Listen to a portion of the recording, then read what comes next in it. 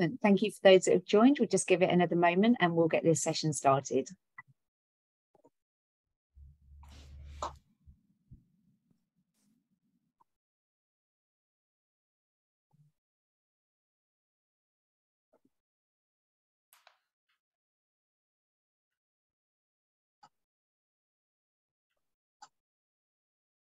Okay, good afternoon, everybody.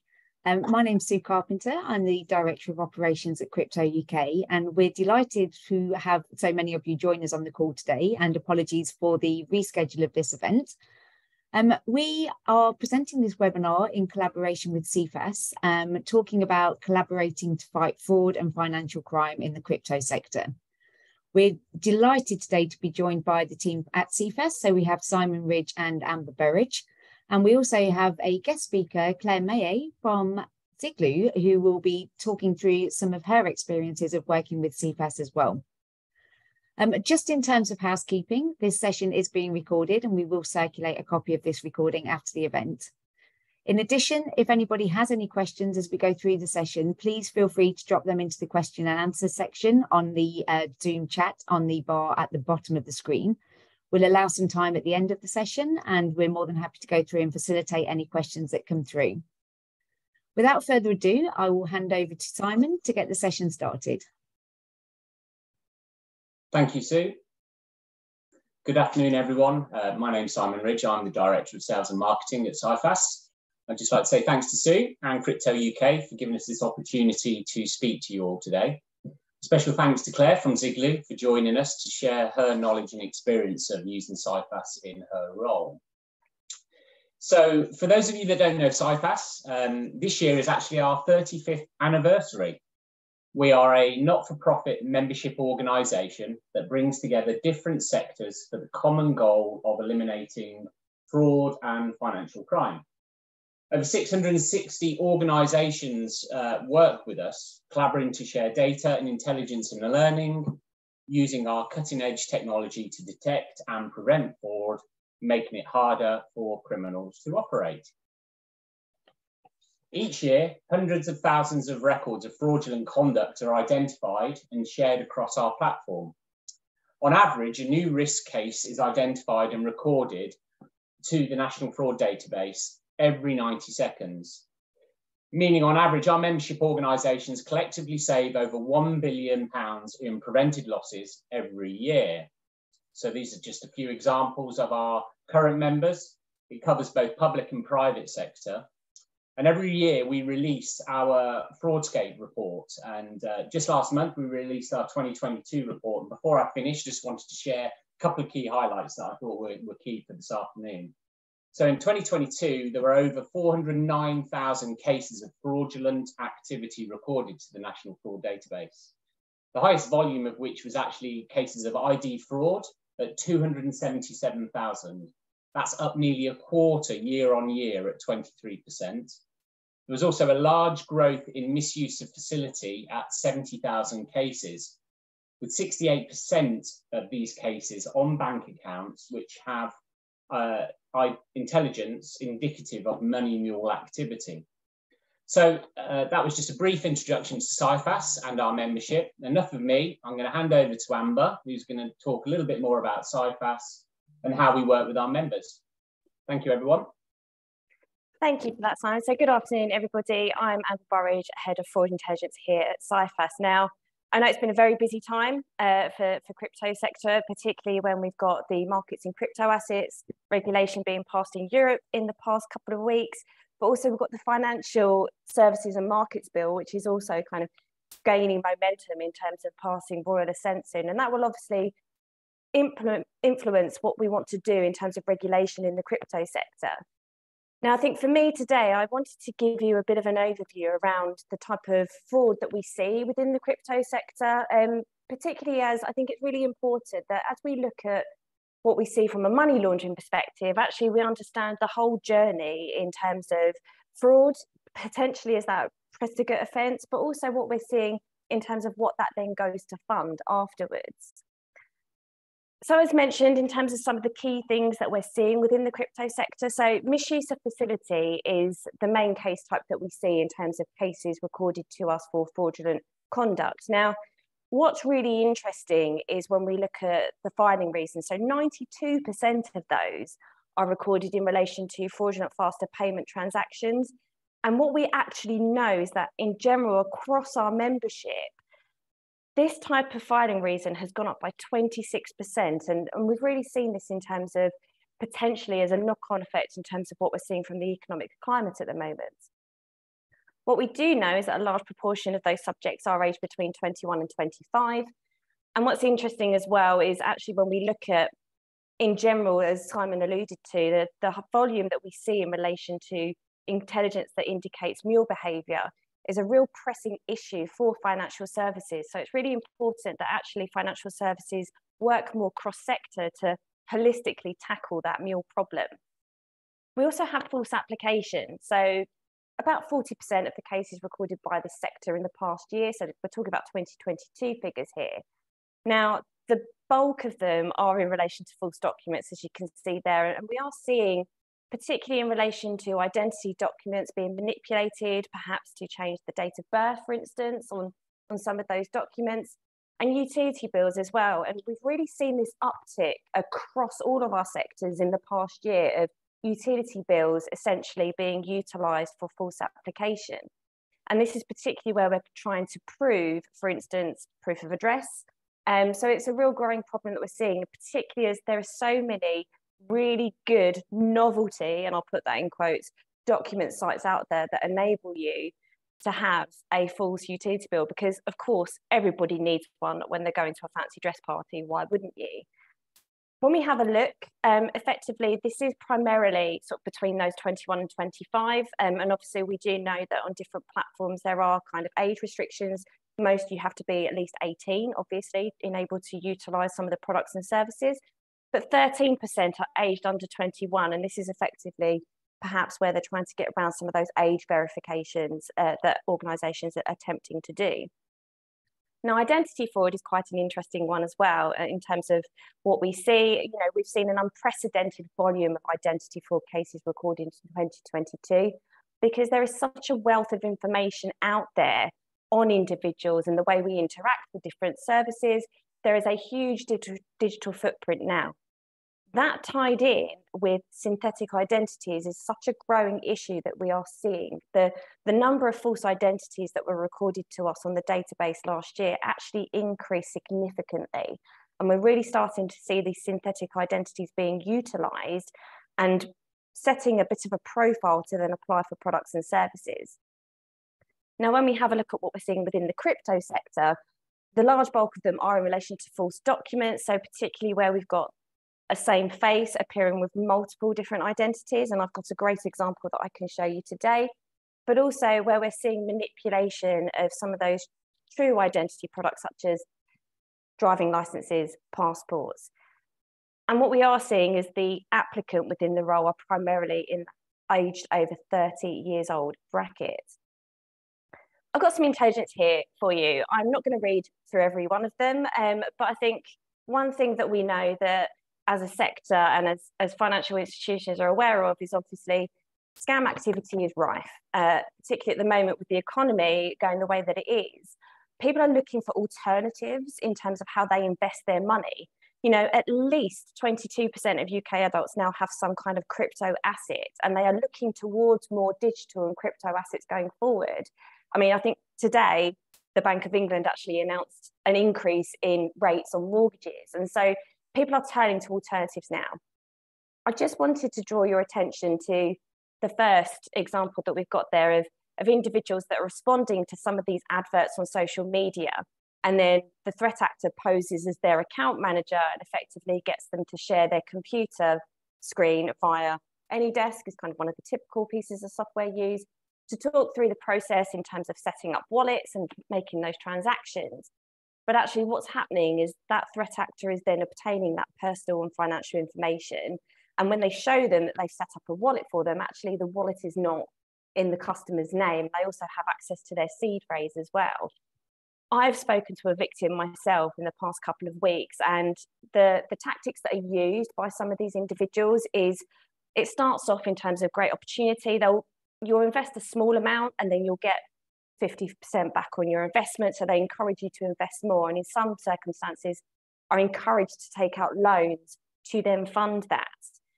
What I then saw when looking at the wallets was actually the transaction that came out of this victim's wallet went into another one, which had received multiple transactions from various wallets and they were all cashed out. There is nothing in that wallet now.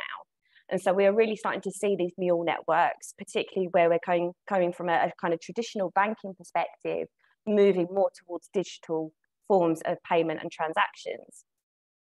The other one I wanted to mention um, is particularly around the use of social media in terms of Twitter as well. So we see it quite a lot in financial services and potentially a lot of you on today's call will have a background in financial services where we do see threat actors sitting on Twitter handles. And so if you then make a tweet to your organization, to your institution, oh, I'm having a problem with my accounts, these threat actors will then jump on that tweet and then take the conversation to a different platform to talk through what your issues are, but then gain access to your accounts.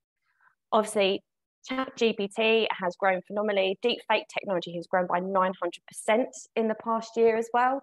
And we know it is a real challenge for organizations at the moment where they are having their brand spoofed and also where they are having their, their sort of digital ways of communicating with customers being targeted as key threat vendors, but it's something that we need to work collaboratively with in terms of understanding what that threat looks like. So an example I've just mentioned about spoofed uh, brands, um, the victim I was speaking to this week actually, when they guided me through the website that they've been lured to, it, it, it does very much mimic a genuine firm. And I think what we know is that criminals will target organisations that aren't part of, say, Crypto UK, but also Cifas. They will target those organisations that aren't part of those collective membership organisations. So I've got an example here. Um, apologies to anybody that may be on Swissborg on the call today. However, what's really interesting is as a, as a member of the public in terms of trying to identify whether or not you're actually on a spoofed website is really difficult. I think the key thing that we can see here is that we've got this re register now and receive a 20% bonus. Um, so actually it's kind of really interesting that it's, it's doing that incentive incentivization piece, which is not what crypto firms would do.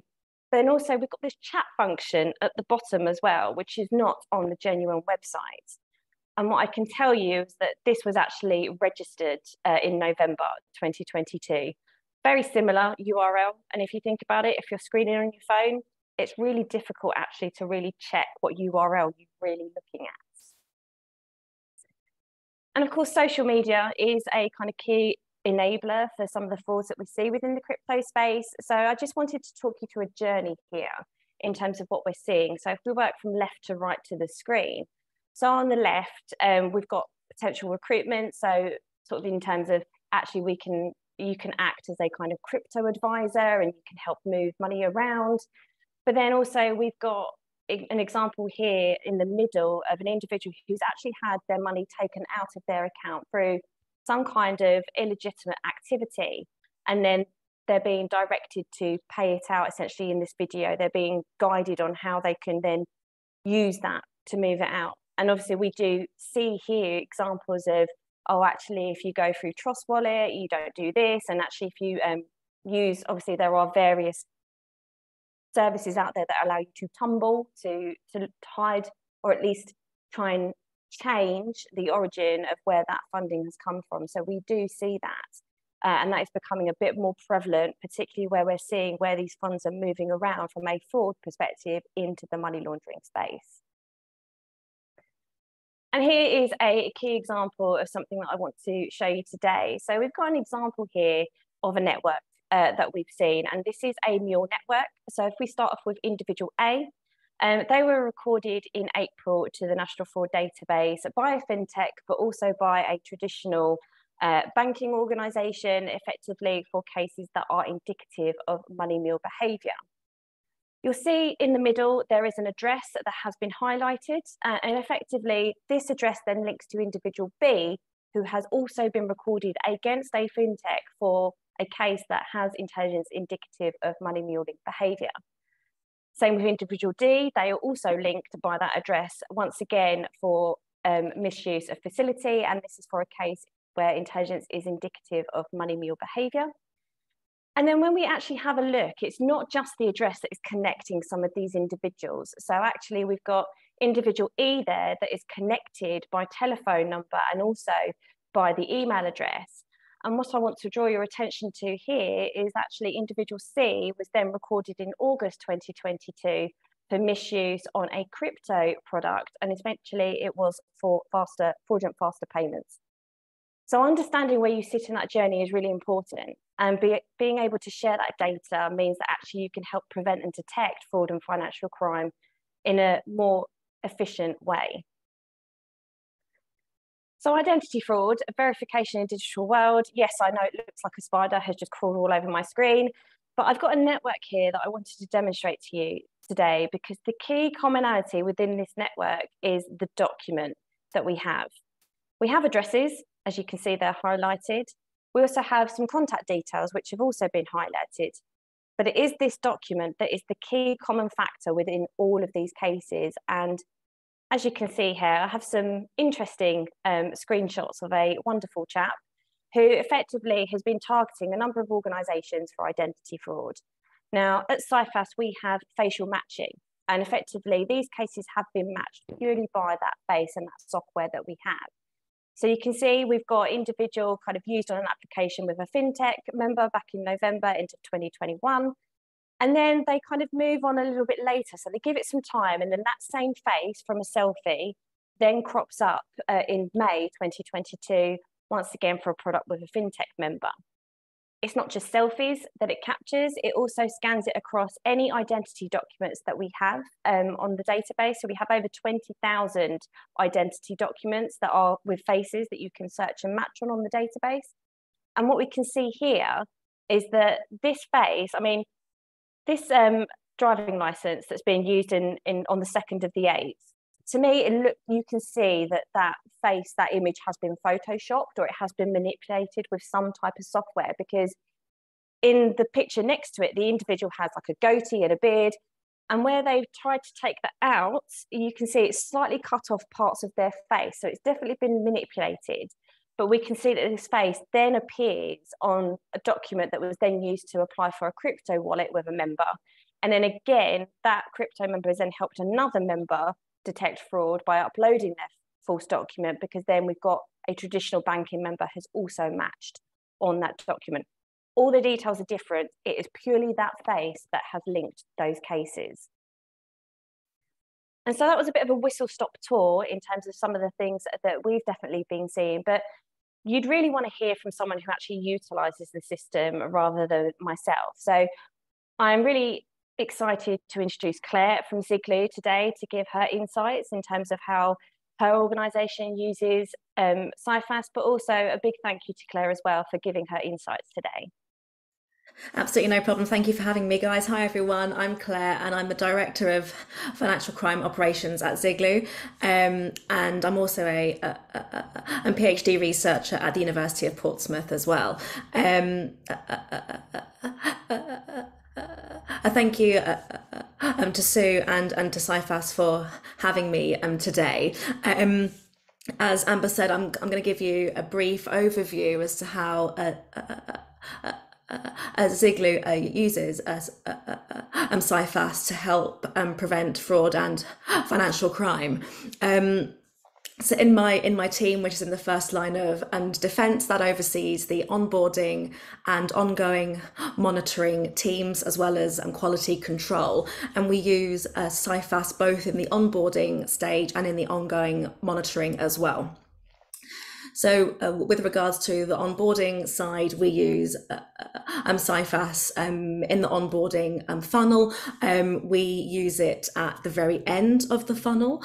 Um, we have uh, are the various checks uh, uh, uh, and beforehand in the um, application journey. Um, we mainly see, based on experience at Ziglu, um, we mainly see um, false um, documentation. We see a lot of those. Um, forged um, passports and driving licenses are the main ones that we've seen.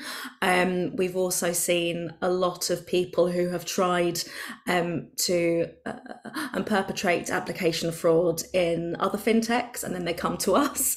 Um, so that's sort of how we've how we've uh, uh, uh, uh used uh, um, in the onboarding side of things.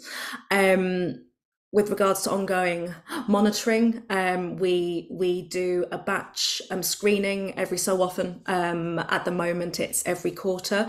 Um, so we will screen our um, customer book um, to see if anyone has been filed to CIFAS since they were onboarded. if we didn't do this, we essentially run the risk of all of our customers having passed the uh, CIFAS check at onboarding and then they could go on and perpetrate fraud elsewhere and we wouldn't know about it so that's why we we always want to have that ongoing check just to um, remove anyone from the uh, uh, um, customer base who has been proven to have perpetrated fraud elsewhere as they would therefore fall outside of our uh, risk appetite um, Amber also mentioned the um, facial recognition um, piece on the NFD that has been a lifesaver for us. Um, we are, I'm currently doing our uh, uh, um, KYC uh, refresh and EDD checks. Um, so asking our um, customers to resubmit their updated details and to submit um, a form of identity which has a photograph on it. Um, and so the uh, uh, facial recognition side has been really, really beneficial on that front. With regards to trends that we're seeing, um, especially in the um, crypto side, um, money muling, I'm sure you'll all be absolutely thrilled to hear is still on the up, especially as far as as Ziglu is um, concerned.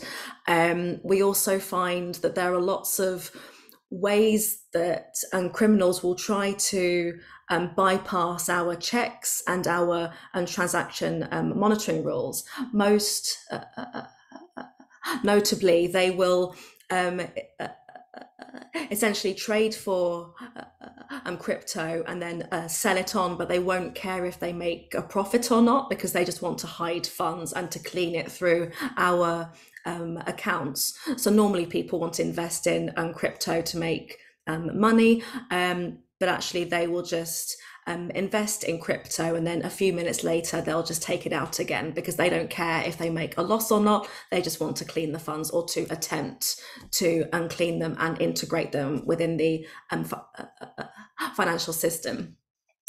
Um, another one, again, I'm just uh, uh, uh, repeating Amber at this stage, basically. Um, but scams um, are one that we're absolutely seeing. Um, not necessarily seeing a seasonal trend with this one, it just happens all the time.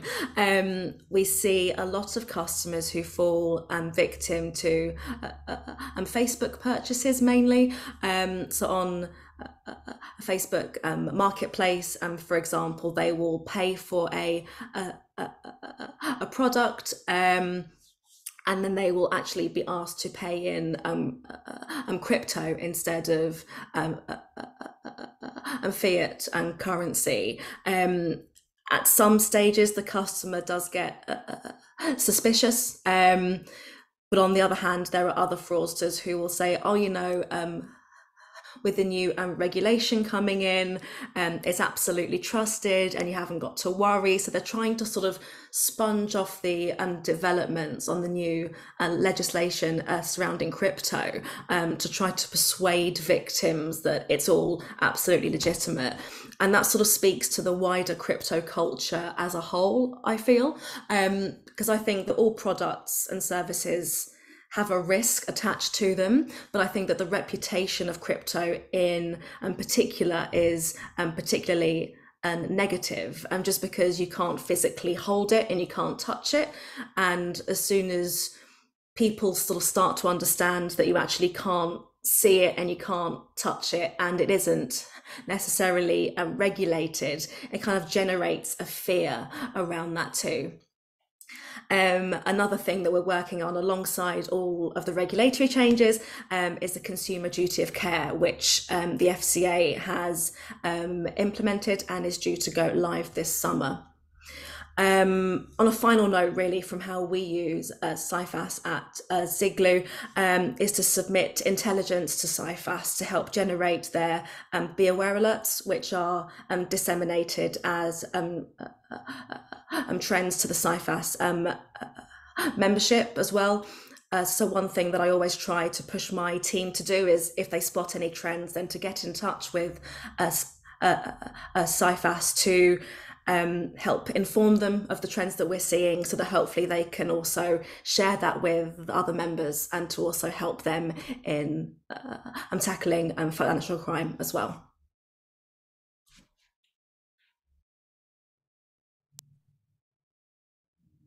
Fantastic. Thanks a lot, Claire um, and Amber and Simon as well. Um, just to reiterate to anybody on the call, if you have any questions, please do put them into the Q&A session uh, section on Zoom. Um, there's a couple that I've got ready to go, but Amber, Simon, was there anything else you wanted to add after Claire's session? I think just to tie on what Claire was saying, you know, we've we've had really good proactive response actually from from intelligence that her organisation have submitted, where actually it's actually helped a number of financial organisations as well to detect further fraud off the back of that.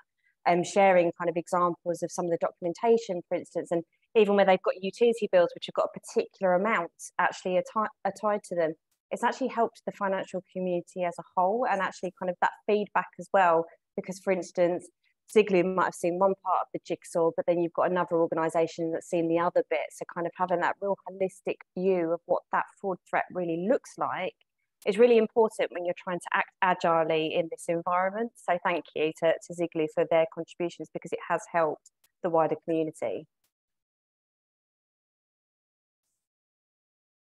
Yeah, um, thank you from me. Thanks, Claire. That's great. Thank you.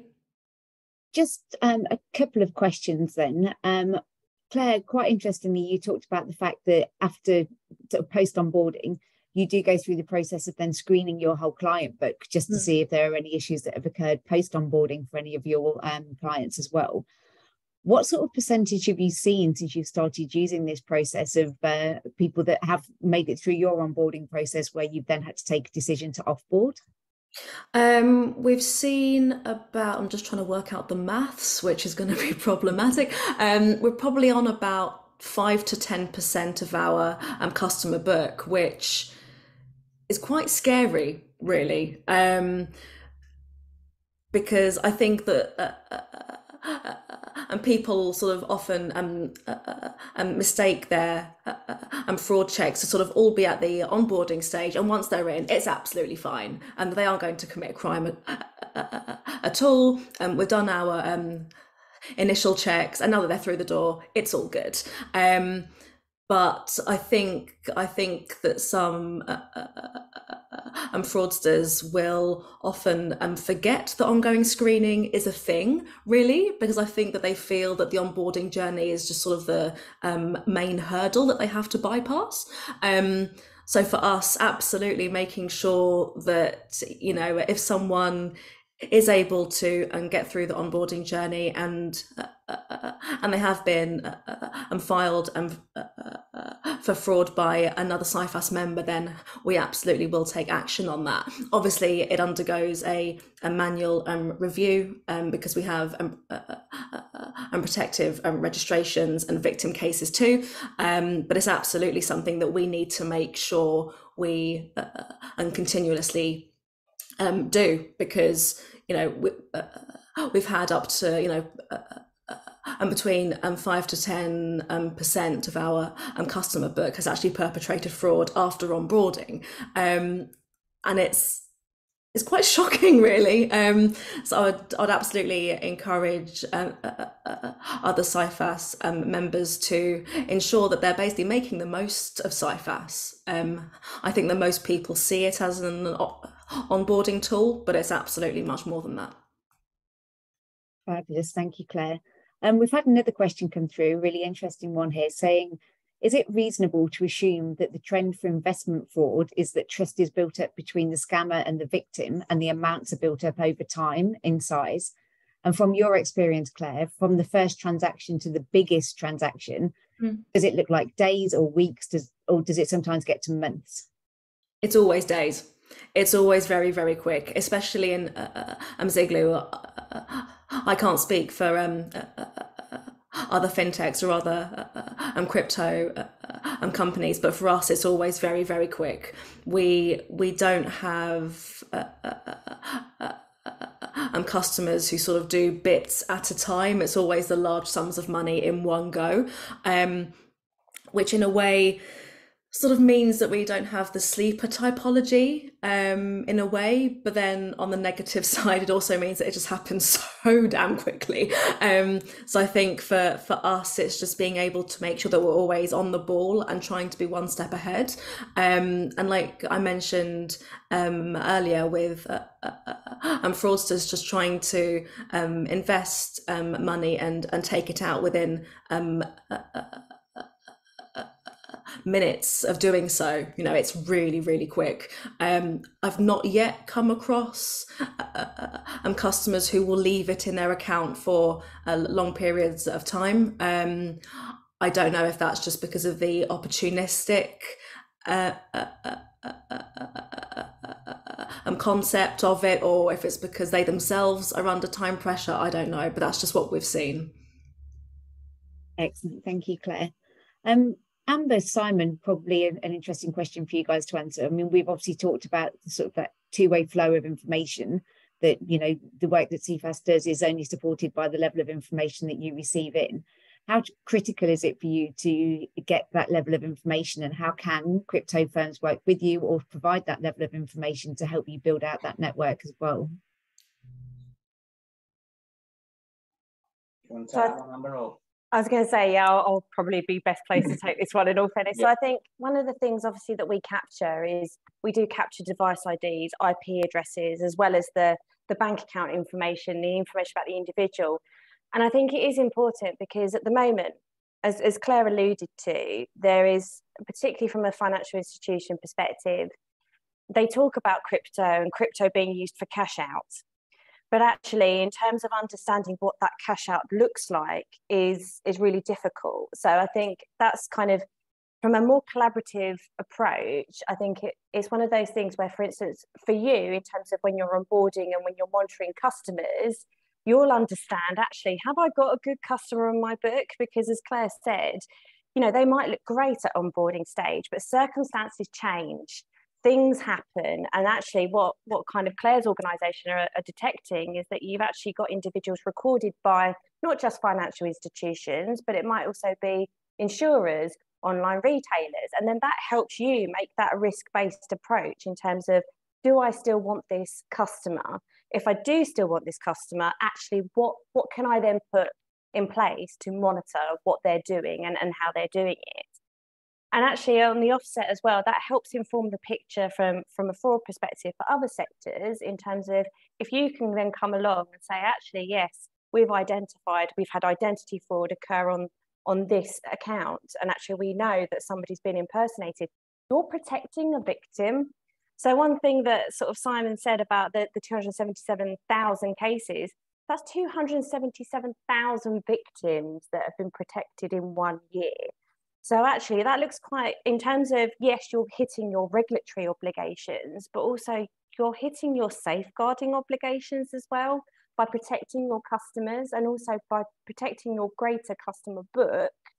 That then actually means that in terms of what you're doing from not only a from those regulatory obligations, but from a reputational perspective, actually, you are a really good organization. And that also helps in terms of customers feeling that they can actually bank with you, they can trust what you're doing, they can hand over their details to you. So it does definitely work in both ways.